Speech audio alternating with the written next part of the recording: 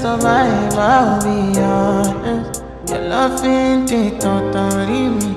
I am so obsessed. I want to chop your kwabi. Ule, your body back make me